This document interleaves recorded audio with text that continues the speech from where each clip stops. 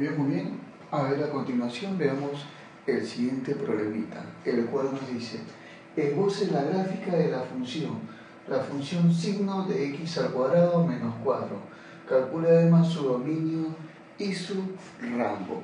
Muy bien, de acuerdo entonces al concepto de la función signo tal y como la podemos observar, entonces nosotros podamos resolver, ¿no? Resolver de acuerdo a la regla de correspondencia dada. Muy bien, profesor, entonces, ¿cómo haríamos en ese caso?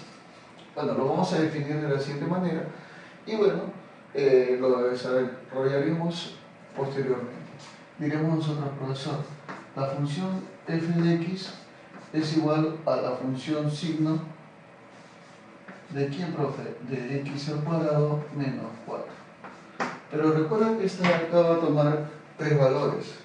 ¿Cuáles son, profe? Bueno, a continuación diremos, sería menos 1, 0 y 1. Bueno, pero el detalle es cuándo serán esos valores, ¿no? ¿Cuándo se harían esos valores? Bueno, en cada uno de los casos diremos cuando, en este caso la variable que es x al cuadrado menos 4, el primer caso sea menor que 0. Si x al cuadrado menos 4 es menor que 0. Siguiente caso, si el valor de esta variable, x al cuadrado menos 4, es igual a 0. Claro. Y el último caso, si x al cuadrado menos 4 es mayor que 0. Muy bien. Tenemos entonces esos tres casos en los cuales nos están hablando, nos están diciendo, ¿no? Menor que 0, igual que 0 y mayor que 0.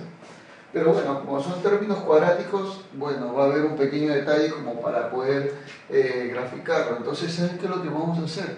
Vamos a expresarlo, sino en función de x nada más.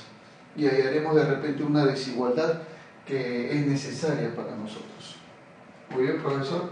Entonces, f de x, que es la función signo de x al cuadrado menos 4 será bueno o tomará los valores de ¿quién, profe? Bueno, tenemos menos 1, 0 y 1.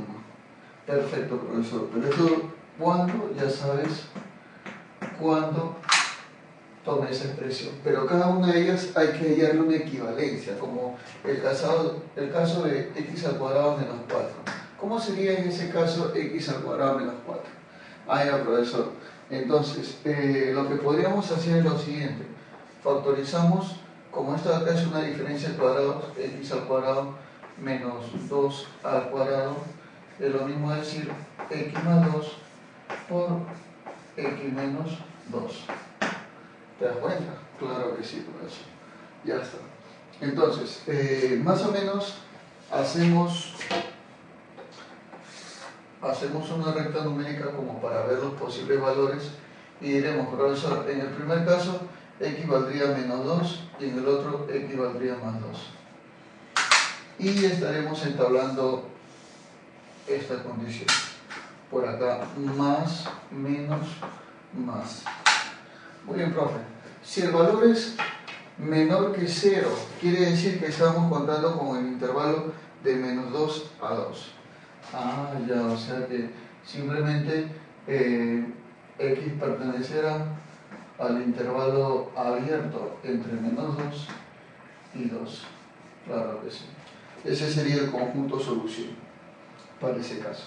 Profe, si x vale 0, bueno, si esto acá vale 0, las únicas opciones es que o x vale menos 2 o x vale 2. Vale, entonces x podría ser menos 2 o x podría ser 2, cualquiera de esos dos casos. Muy bien. Y por último, si x al cuadrado menos 4 es mayor que 0, entonces optaríamos por las partes positivas, o sea, esta de acá y esta de acá. Sería de menos infinito a menos 2 unido con de 2 a más infinito. Claro.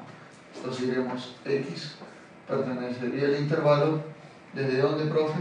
desde menos infinito hasta menos 2 unido con el intervalo desde 2 a más infinito. Claro que sí.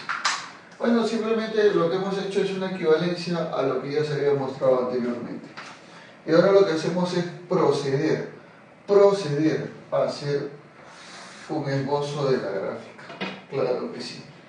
Definitivamente tiene que ser así de esta manera. Profe, entonces, ¿cómo haríamos en ese caso? Bueno, los puntos ya nos hemos dado cuenta que eran menos 2 y 2, definitivamente. Ahí, o sea, en X sería menos 2 y bueno, por acá 2. Ya está. Para el intervalo entre menos 2 y 2 abierto, abierto, ojo, sería, ¿cuál es, profe? Ah, ya, sería menos 1. O sea que lleva de menos 1 para esos intervalos. Diremos entonces menos 1 para, obviamente, 2 y menos 2 en esa parte. Ah, ya, profesor. Entonces, estamos ahí. Pero, como ya lo hemos dicho, abierto. Claro que sí. Muy bien. Esa sería entonces la primera parte de la gráfica de la función. Muy bien. Lleva a valer 0 en los puntos menos 2 y 2. Ah, ya, o sea, quiere decir que toma a estos puntos la gráfica. Menos 2 y 2, cuando el valor de y vale 0. ¿no? Este es y por si acaso. Y bueno, de menos infinito a menos 2, bueno, no cerrado, sino abierto. ¿Por qué profesor abierto? Porque te dice mayor que 0, acá es abierto. O sea, acá es abierto, acá también tiene que ser abierto. Y lo mismo que acá también, hay que tener bastante cuidado, sería abierto. Ah, ya, profesor. ¿Y eso qué valor tomaría? 1, obviamente, en este. Claro que sí, estaremos ahí, simplemente. Para el valor igual a 1. Claro que sí, profesor. Entonces estaremos ahí y por acá también estaríamos con ese valor. ¿Te das cuenta? Así es. Profe, entonces, ¿cuál sería ahí en este caso? Bueno, en este caso es abierto, como ya lo hemos dicho, porque no opta por ese valor, no toma ese valor. Claro que sí. Muy bien, entonces, ¡tarán! esta sería la gráfica entonces de esa función signo que nos han dado ahí. ¿Te das cuenta? Recontra facilísima y sencilla. Menos 1 en el intervalo entre menos 2 y 2 del eje X si vale 0 sería para el punto menos 2 y el punto 2. Y si vale 1, desde el menos infinito hasta 2 abierto, hasta menos 2, perdón. Y de 2 hacia el más infinito también, ¿no? O sea, estos valores, para el valor de 1. Claro que sí. Así de recontra fácil y sencillo es esto. Veamos ahora cuál es el dominio de la función. Bueno, profe, el dominio de la función proyectando la función hacia el eje X sería todos los reales. Profe, el rango de la función? Bueno, el rango de la función también sería proyectando hacia el eje Y, en este caso sería menos 1, la proyectada. ¿Quién más, profe? Haya 0, el valor de 0 también que está presente. ¿Y quién más, profe? Haya y 1, y 1 positivo. Claro que sí. Esos serían los valores que estamos viendo ahí. Muy bien, perfecto, perfecto muchachos. Así se hace todo esto, así que sigan repasando y sigan visitándonos, por favor, es muy importante.